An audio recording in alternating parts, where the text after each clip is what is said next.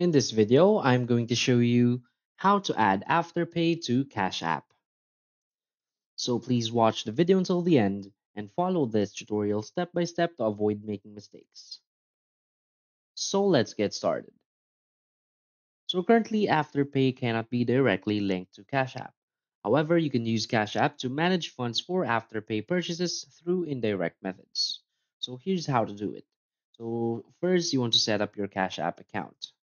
So uh, you want to order a cash card. So open the Cash App and order a cash card. So tap the cash card icon at the bottom, tap Get Cash Card, and follow the prompts to request a card. Now activate your cash card. So tap the cash card icon and then activate cash card. Scan the QR code or enter card details manually to activate it. Now you want to add funds to your Cash App balance. So open the Cash App and tap the banking icon. Now tap Add Cash and enter the amount you want to add. Now confirm the deposit.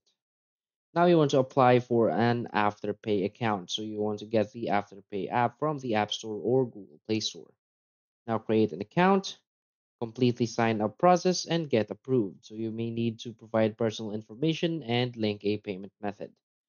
Now, in linking a payment method, you want to use your cash card. So go to account settings and tap payment methods.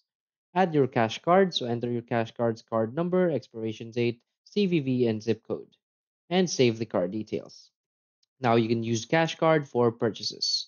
So shop at Afterpay retailers. So choose Afterpay as your payment method during checkout and complete your purchase. So select your cash card from the list of payment methods or payment options to complete the transaction.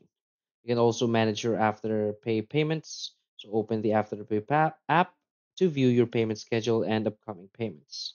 Ensure funds are available. So if needed, transfer money from Cash App to your linked bank account for Afterpay payments. So open Cash App and tap the banking icon. Select Cash Out and choose the amount to transfer to your bank account. So that's it. So if you find this video helpful, please hit like and subscribe. Thanks.